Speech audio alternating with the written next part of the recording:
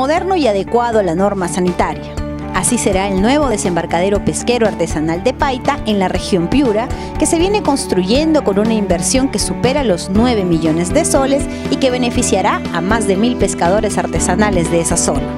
El viceministro de Pesquería, Paul Pompiu, inspeccionó el avance de las obras de esta infraestructura que avanza con todas las capacidades logísticas necesarias para culminar en el presente año. Entre las obras que se ejecutan destaca el mejoramiento del muelle espigón existente, ampliación en 56 metros del muelle marginal, mejoramiento, ampliación y adecuación de la infraestructura en tierra e instalación de un emisor submarino de 600 metros, entre otros. En su segundo día de visita de trabajo, el viceministro Pompiú recorrió los desembarcaderos de Talara, Cabo Blanco y El Ñuro, para conocer el estado de la infraestructura y escuchar las inquietudes de los pescadores.